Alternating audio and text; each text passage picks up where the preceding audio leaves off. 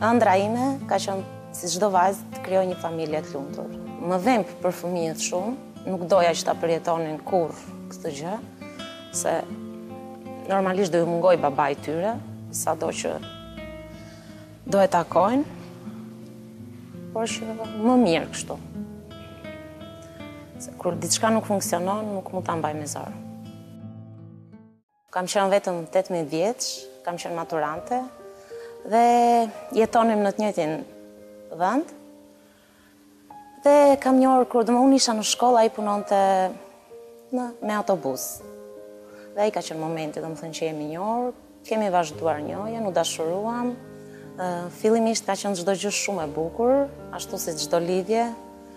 Nuk është se ndenjëm shumë kohë të lidhur, domethënë më pas u fejuam, kryem martesën, po çdo gjë ka qenë bukur. Ishte i dhënë shumë pas meje, dashurinë që më falte, buzëqeshjen, kujdesin që tregonte, po kishte ato xhelozitë e vogla në fillim të lidhjes, po unë pak më shumë. Martova, më pas mbeta shtatzënë me djalin, çdo gjë ishte bukur, u gëzuam shumë me ardhjen e djalit në jetë, pasi kaluan disa vite, filluan zënkat, pati ato mosmarrëveshjet me njëri-tjetrin, Nuk e di, filloi të sillej ndryshe, nuk kishte më të njëjtin kujdes ndaj meje. Filloi të largohej. Intuita, nuk e di, ndoshta s'më ka gënjyer asnjëherë, po mendova që ai kishte dikë tjetër. Pasi kaluan disa vite, unë solla në jetë vajzën dhe pas lindjes vajzës më pas filluan problemet më të mëdha që na çuan drejt ndarjes. Kur e kisha vajzën tre vjeç, kam ardhur në Tiranë për të jetuar. U zhvendosa bashkë me bashkëshortin dhe dy fëmijët. Punoja, fillimisht punova një furrë buke, më pas si edukatore kopshi.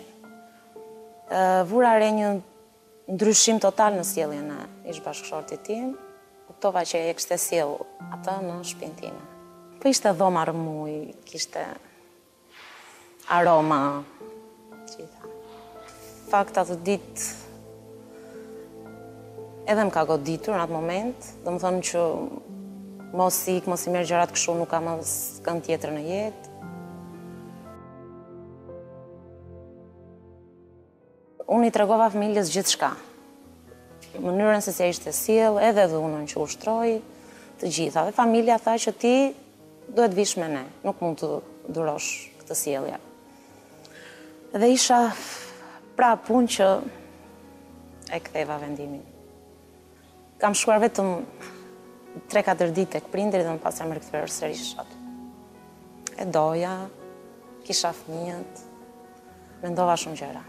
Unë isha në punë dhe më mori në telefon, më tha më prit diku se do pim një kafe.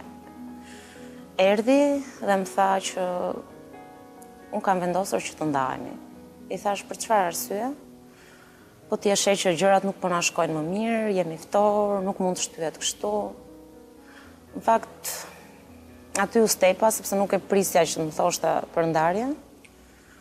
I thashë, nuk është aq e thjeshtë, mendoji gjërat mirë, në qoftë se diçka nuk është mirë, hajt ta rregullojmë, se kemi dy fmijë, i kemi të rritur, i thonë një jetë bashkë, u rritëm të dy.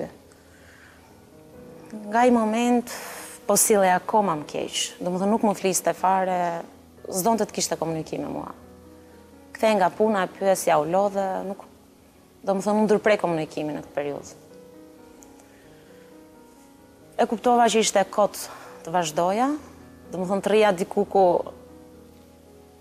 nuk më donte, domethënë dukej si sikur do rrije me zor tek një në një shtëpi ku nuk të duan. Dhe vendosa të largohem. Domethënë i nxitur i shtyrë nga ai. U largova dhe ka qenë punë javë, kam rastisur, jam përballur me ish bashkëshortin dhe me femrën që ai ka në krah. Vajza ka ardhur në shtëpi dhe e pashë që ishte e prekur dhe e pyeta, E futa në dush do i bëja një dush. Thashë çfarë ke pse je mërzitur? Filloi po qante. Nuk më tregonte dot e më pas më tha që pashë babin tha ishte me një femër tjetër.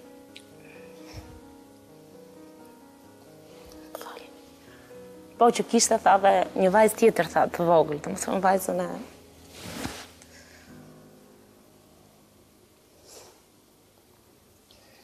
Ndërsa djali është i rritur, i kupton gjërat.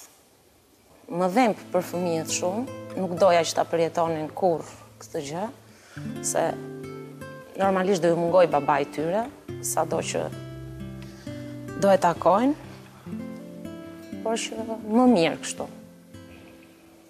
Se kur diçka nuk funksionon, nuk mund ta mbaj me zor. Dua të kem një punë timen, definitive dhe të kem një shtëpi që të jetoj bashkë me fëmijët, sepse unë aktualisht jetoj me prindrit edhe me vllain.